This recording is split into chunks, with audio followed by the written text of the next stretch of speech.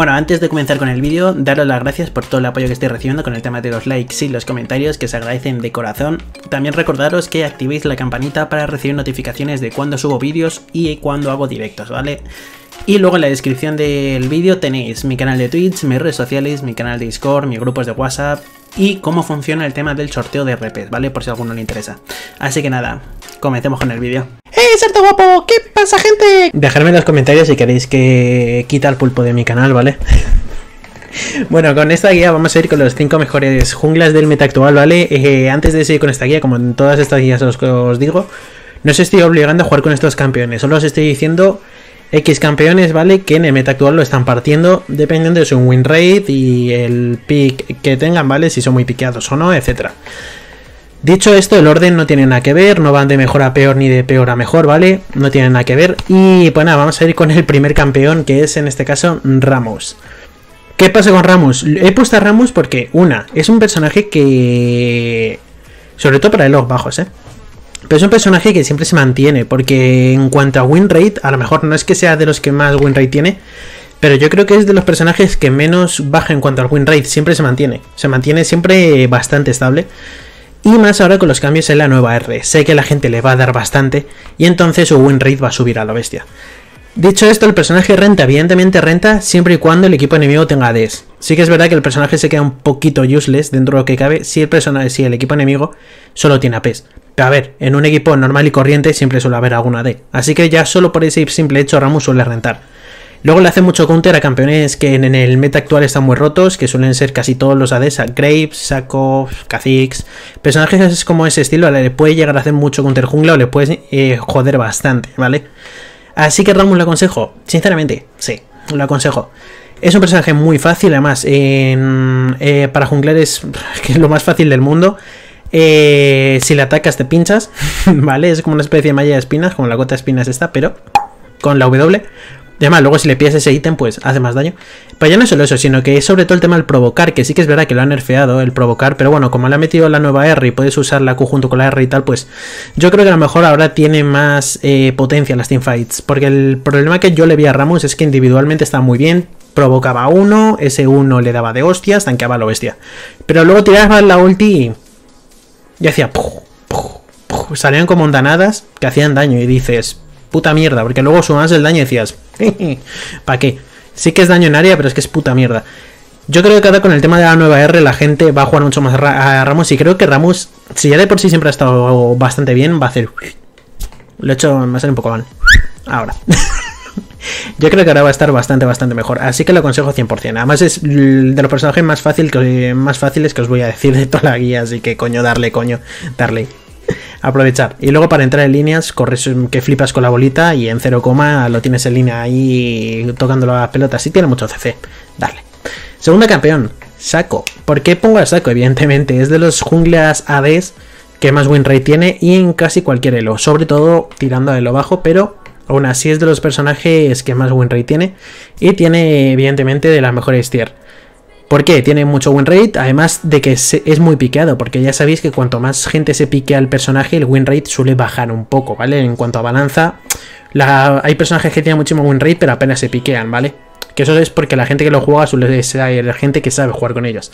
Cuando se da el caso de que ambas están ahí ahí, es que el personaje suele darse a que está bastante bien, ¿vale? En comparación con otros junglas. ¿Por qué Saco? Evidentemente, desde que hicieron Nerfeo en la jungla se nota y todos aquellos campeones como Saco y Sin, por ejemplo, son personajes que se aprovechan mucho del gankear, gankear, gankear, gankear y tienen muchas opciones de gankear en casi cualquier situación, incluso diveando. Porque el te puede aparecer desde la pared con una Q con la W y un guard, bueno, con un guard y la W y saco más de lo mismo. Con la Q te puede aparecer invisible o con la copia puede llegar a tanquear y por ello divear. Luego tiene el tema de las cajas para farmear, que además se la bufaron hace poco y parece ser que ese bufo pues le hizo escalar un poquito mejor, un poquito más, pero sigue siendo más de lo mismo, ¿vale? Es un personaje que tampoco es que sea muy complicado, farmea bien. Y a la hora de gankear, como os dije, entras en invisible, es súper fácil entrar invisible y gankear. Es que yo siempre lo he dicho, casi cualquier personaje que se haga invisible en la jungla es crema. Tercer campeón, Kha'Zix. Evidentemente. Eh, yo sé, mucha gente me pregunta que qué jungla asesino eh, suelo aconsejar, siempre aconsejo Kha'Zix, ¿vale? Si estáis entre Rengar, Kha'Zix, eh, incluso el propio Saco, pero bueno, Saco es que es fácil, pero aún así yo os diría Kha'Zix.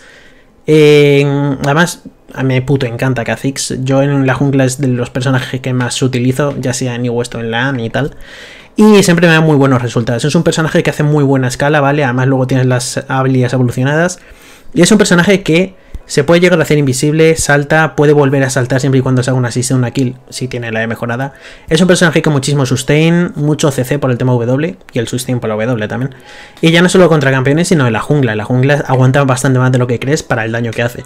Luego tiene el tema pasiva, con lo que te deletea en 0, y objetos como el Estera que elevan mucho mejor que a otros muchos junglas. Por eso mismo es como que a este personaje, a Kha'Zix, se le saca mucho más partido con el tema de los nuevos, de los nuevos objetos.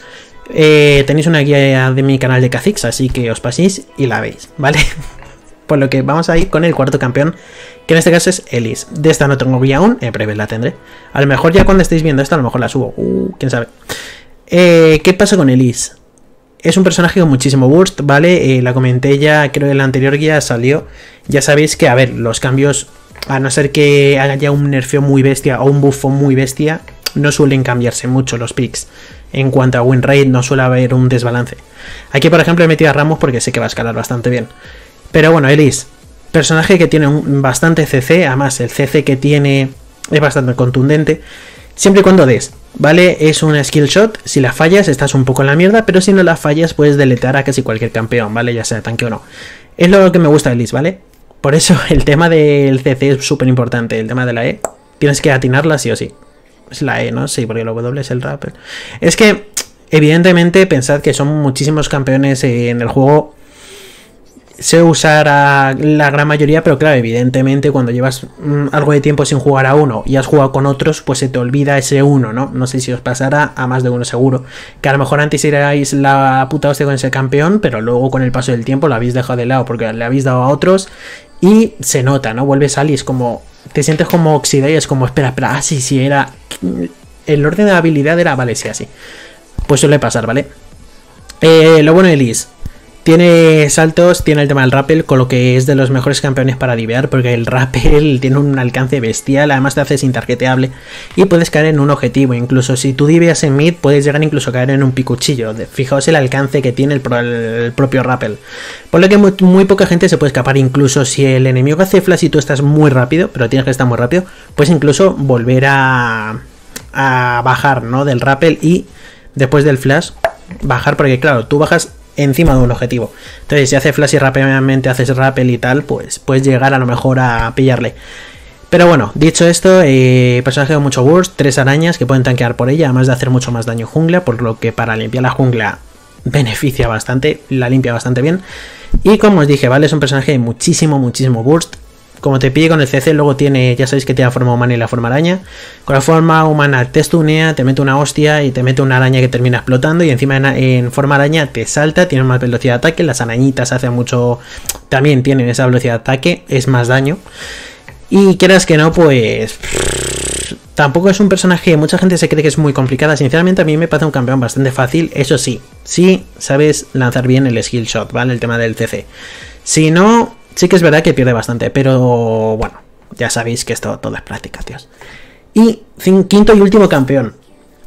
Morgana. Vale, antes de que me digáis en los comentarios eres gilipollas. No, ahora fuera de coñas, ¿vale? Morgana está muy rota en jungla. Fuera de coñas. Evidentemente, a ver, si tenéis mucho AP en el equipo, no os pilléis Morgana jungla. Pillas entonces a poder ser una de un Kha'Zix, por ejemplo.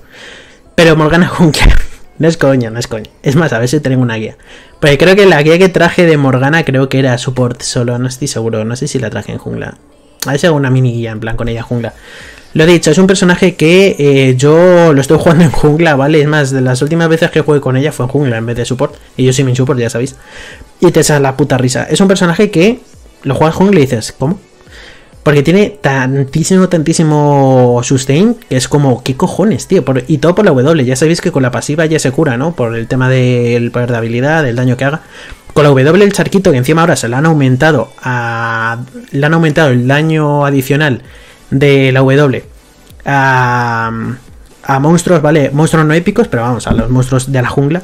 por lo que va a farmear mucho mejor. Ese charquito da la vida, porque hace bastante daño y te va curando, te van quitando y te van curando. Por lo que es un personaje con muchísimo sustain. Sí que es verdad que a lo mejor no limpia tan rápido como otros, pero ¿qué pasa? Cuando tienes ya solo un ítem, con, un, con una simple W, el charquito de Morgana aguanta bastante. Se tira mucho rato. Si tú eh, haces que los, que los monstruos se queden en el charquito, le vas quitando vida, pa, pa, pa, pa, pa, pa, te va curando, te va curando y de puta madre. Y a vivir la vida. Es lo bueno que tiene Morgana, ¿vale? Le aconsejo fuera de coñas probarla. ¿Y por qué le aconsejo también? Tiene muchísimo, muchísimo, muchísimo win rate en jungla y no es coña. Evidentemente no la juega tanta gente. Pero le he puesto una, porque me sale de los huevos, y dos, porque sinceramente yo creo que es un personaje que tendréis que probar muchos de vosotros. Luego pensar que tiene uno de los mejores CCs del juego, ¿vale? Que dura, bueno, de los mejores CCs más bien en cuanto a duración, pero que dura una puta salvajada, ¿vale? Al final termina durando eso tres segundos, no sé qué pollas. Como que te comas la, cárcel de Morgana, te quedas ahí quieto un buen rato. Evidentemente sí que es verdad que puedes tirar habilidades y tal, pero al ser jungla lo que te conviene es parar al enemigo. No ya no estunearle como tal, sino pararle. Inmovilizarle, vamos, que se quede quietico. ¿Y qué pasa con ello? Que entonces ayudas a tu aliado a reventarle. Luego el tema de las cadenas en una teamfight es primordial. Puedes llegar a stunear a varios, te curas bastante además. Tiene mucho sustain y con, gracias a Zonia pues hace el combo de rezonas. Que la guía os lo puse así que os vais a ver la guía, ¿vale? Hecho. Y pues nada chicos, hasta aquí la guía, ha sido todo un placer. Eh, sí que sé que alguno de estos campeones es un poco raro, sobre todo, bueno, Ramos eh, está roto. Pero sí que es verdad que lo de Morgana seguro que os ha dejado un poco como probarla, hacerme caso. Aún así traeré una segunda parte, ¿vale? Con campeones un poco más normales. Pero es que Morgana la tenía que decir, tío. Es que tiene un win rate de la puta hostia. Y dije, la meto. La meto y así la probáis. Así os obligo a probarla a más de uno. A lo mejor más de uno se, se lleva una gran, gran sorpresa. Y bueno, pues nada más chicos, ya sabéis que en la descripción tenéis toda la información de mi canal, mi canal Twitch, mis redes sociales, mi grupo de WhatsApp, Discord, etcétera, etcétera. Eh, también el funcionamiento del sorteo de RPs, por si a alguno le interesa participar, se suelen hacer en Twitch. Sí que es verdad que últimamente estoy un poco AFK en cuanto a los directos y eso, lo siento. Para todos aquellos que os gusten mis directos, pero bueno. Eh, tengo ciertos problemas con YouTube, ¿vale? Y hasta el 27 de mayo exactamente. Así que bueno, ya cuando pase esa fecha volveré a hacer directos dobles y tal y pues eso, a gozarlo. Así que nada, eh, también eh, dejadme el... O sea, dejadme en los, comentarios que os ha parecido el vídeo y todas esas vainas, evidentemente. Pero ya no solo eso, sino que eh, agradezco de corazón que activéis la campanita tanto en YouTube como en Twitch para recibir notificaciones de cuando subo nuevos vídeos, ¿vale? Que estoy subiendo de continuo y más últimamente. Y de cuando hago directos, ¿vale? Ya sea en Twitch o, o en YouTube. Así que nada, chicos, un placer. Y hasta el siguiente. Darle like a Gopi, que está tremendo. Mmm. Delicious.